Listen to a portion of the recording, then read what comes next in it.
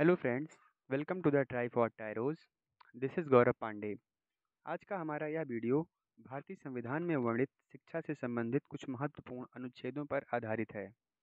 भारतीय संविधान में वर्णित अनुच्छेद 21 ए, जो कि एक मौलिक अधिकार है, अनुच्छेद पैंतालीस, राज्य का एक नीति निर्देशक तत्व है, और अनुच्छेद इक्यावन ए, भारतीय संविधान में वर्णित मौलिक कर्तव्य है। ये सभी अनुच्छेद भारतीय शिक्षा से संबंधित हैं।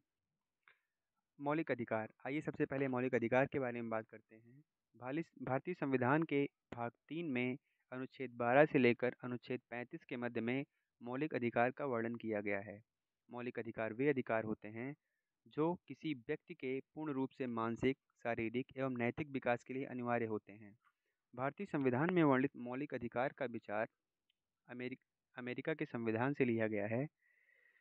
भारतीय संविधान में सन 2002 में छियासीवां संविधान संशोधन किया गया, जिसमें भारतीय संविधान के भाग तीन में अनुच्छेद 21 को जोड़ा गया, जो कि भारतीय बच्चों को शिक्षा का अधिकार प्रदान करता है।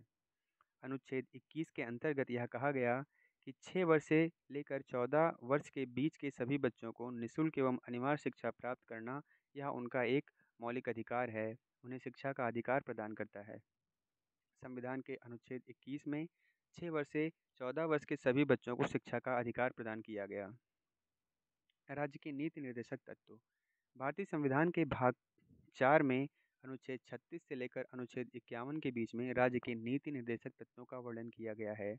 एक कल्याणकारी समाज की स्थापना करने के लिए राज्य के नीति निर्देशक तत्वों की आवश्यकता होती है। भारतीय संविधान में वर्णित राज्य के नीति निर्देशक तत्व का प्रावधान आयरलैंड के संविधान से लिया गया है। छियासीवां संविधान संशोधन सन 2002 के फलस्वरूप भारतीय संविधान के भाग चार में अनुच्छेद 45 जोड़ा गया, जिसमें यह कहा गया कि राज्य छः वर्ष से कम आयु के सभी बच्चों के पूर्व बाल्यकाल की देखभाल एवं शिक्षा प्रदान करने का प्रयास करेगा। अनुच्छेद 45 में ई सी की बात की गई, early childhood care and education की बात की गई, जिसमें यह कहा गया कि राज्य छः वर्ष से कम आयु के बच्चों के लिए छः वर्ष छः वर्ष से कम आयु के बच्चों की देखभाल एवं शिक्षा का प्रावधान स्वयं करेगा। फंडामेंटल ड्यूटीज़, मौलिक कर्तव्य, भारतीय संविधान के भाग चार ए में, आर्टिकल 51 ए में मौलिक कर्तव्य का वर्णन किया गया। भारतीय संविधान में पहले मौलिक कर्तव्य नाम की कोई बात नहीं की गई थी, लेकिन सरदार स्वर्ण सिंह समिति के फलस्वरूप उन्नीस सौ छिहत्तर में बयालीसवां संविधान संशोधन के द्वारा भारतीय संविधान के भाग चार ए में अनुच्छेद इक्यावन ए में दस मौलिक अधिकारों की, मौलिक कर्तव्यों की बात की गई है। मौलिक कर्तव्य का विचार पूर्व सोवियत संघ रूस के संविधान से लिया गया है।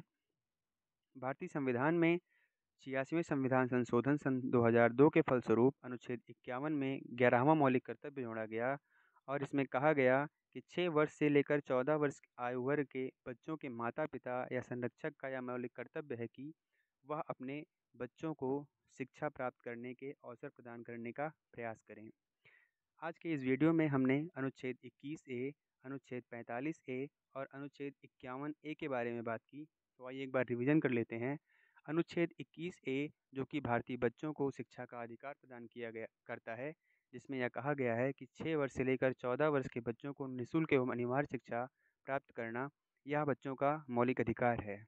अनुच्छेद 45 में यह कहा गया है कि छः वर्ष, राज्य छः वर्ष से कम आयु के बच्चों की देखभाल एवं शिक्षा का प्रावधान स्वयं करेगा और अनुच्छेद इक्यावन में यह कहा गया कि अनुच्छेद इक्यावन में ग्यारहवा मौलिक कर्तव्य जोड़ा गया, जिसमें यह कहा गया कि छः वर्ष से लेकर चौदह वर्ष के बच्चों के माता पिता या संरक्षक का यह मौलिक कर्तव्य है कि वह अपने बच्चों को शिक्षा प्राप्त करने का अवसर प्रदान करें।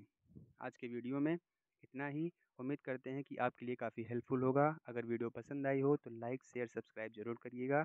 धन्यवाद।